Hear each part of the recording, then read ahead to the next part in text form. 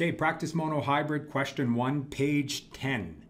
Uh, so these questions are a little bit different, but we're going to show that as we progress through it because, of course, in a test environment, you're not going to know what type of question you get until you start analyzing some of the questioning.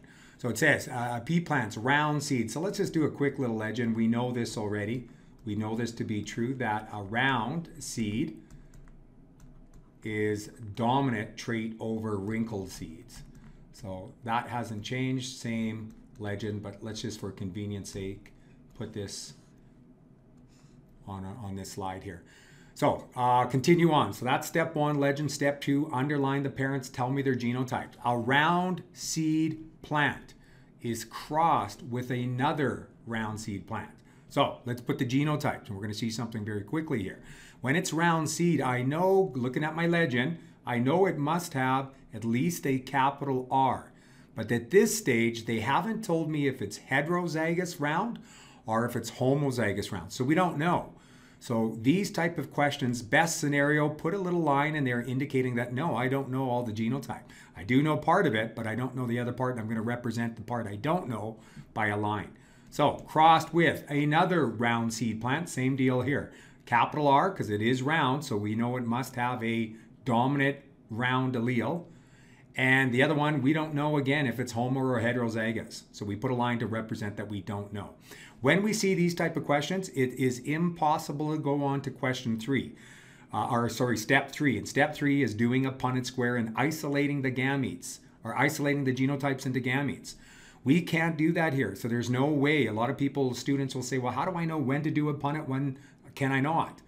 And if you don't know the genotypes of that parents or any of the parents, there's no way that you can do a Punnett. We're going to go to the next phases of steps. So that delegates it to a different series of steps. And you see that articulated on page 10 when we have a little summary flowchart on problem solving with some of these monohybrids. If you can't do step two, you're going to divert over to the other problems that requires you to find unknown genotypes of the parents. That's what these questions are going to do. They're going to ask you, well, what is the genotypes? And the only way they can do these questions if they have some offspring. So when you see these type of questions where you don't know the genotype of the parents, they must, absolutely must, have offspring. And you look at the phenotypes for the offspring to be able to fill in some of these blanks. And you're not just looking for any old offspring. What you're looking for is recessive offspring. We love recessive offspring. This is like your Sherlock Holmes. What I love about genetics is you're actually looking for clues to be able to solve these type of genetic problems. So this is gold right here. So when you look at the offspring, they say they have six offspring. We don't care how many. We don't even care about at this stage the ratio. All we're looking for is any recessive offspring, and they do.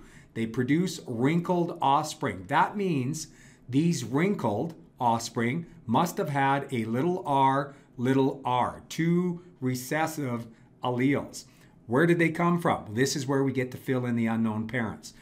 Each parent has to contribute allele to that offspring. So that means this parent must have received or donated one, and this parent must have donated the other recessive allele. So now what we've done by looking at that wrinkled offspring, and again, that's your that's your Sherlock Holmes clue right there. Uh, that enables us to be able to fill in the unknowns here. So the question says determine the genotype of the parents. We know that one parent is heterozygous and so is the other. And we would always expect again, when you have two parents with heterozygous, the pattern is that it will be a three to one ratio. Okay, thanks guys. Any questions? Give me an email. Thank you.